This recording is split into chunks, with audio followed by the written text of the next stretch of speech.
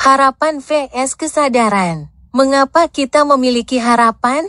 Mereka adalah kompas yang memandu kita melewati lautan luas kehidupan yang dibentuk oleh susunan genetik, proses kognitif, sikap, interaksi sosial, norma budaya, dan pengalaman pribadi. Harapan bukan sekedar keinginan, mereka adalah struktur psikologis yang mendukung perjalanan kita menuju pertumbuhan dan kepuasan. Panduan Harapan menerangi jalan kita, memberikan arah dan tujuan. Berupa bisikan-bisikan di dalam pikiran kita yang mendorong kita untuk mengambil langkah pertama, bermimpi, dan berani. Motivasi mereka adalah bahan bakar yang mengobarkan semangat kita, mendorong kita menuju tujuan kita. Harapan menantang kita untuk bangkit melampaui zona nyaman dan bertahan melewati kesulitan.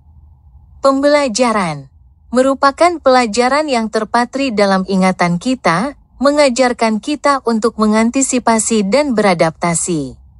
Harapan membantu kita membuat pilihan berdasarkan informasi mengambil kebijaksanaan dari masa lalu. Penataan emosi dapat berfungsi sebagai jangkar penstabil emosi kita. Harapan positif dapat membangkitkan semangat kita. Sementara harapan yang realistis mempersiapkan kita menghadapi pasang surut kehidupan yang tak terelakkan.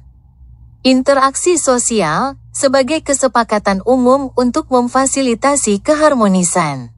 Harapan memungkinkan kita terhubung dengan orang lain, menumbuhkan pemahaman dan empati. Pengaruh budaya merupakan cerminan dari kesadaran kolektif kita. Harapan mencerminkan nilai-nilai dan aspirasi masyarakat, membentuk persepsi kita tentang apa yang mungkin terjadi. Namun, apa jadinya jika kita berlayar tanpa memiliki harapan? Perairan mungkin tampak lebih tenang, bebas dari badai kekecewaan. Kita menjadi lebih mudah beradaptasi, terbuka terhadap angin perubahan dan kekayaan pengalaman baru. Namun, kapal tanpa tujuan bisa saja terapung tanpa tujuan. Harapan memberi kita tujuan, alasan untuk berlayar menuju cakrawala yang belum terlihat. Kuncinya terletak pada keseimbangan menetapkan harapan realistis yang akan memperluas jangkauan kita, bukan sebaliknya. Ini tentang menjalani perjalanan dengan tangan terbuka dan hati terbuka. Siap menyesuaikan arah sesuai kebutuhan. Mari kita berlayar dengan kesadaran sebagai panduan dan harapan sebagai kompas kita. Bersama-sama mereka akan membawa kita ke pantai penemuan dan lautan ketenangan. Jadikan harapanmu sebagai sekutu, bukan musuh.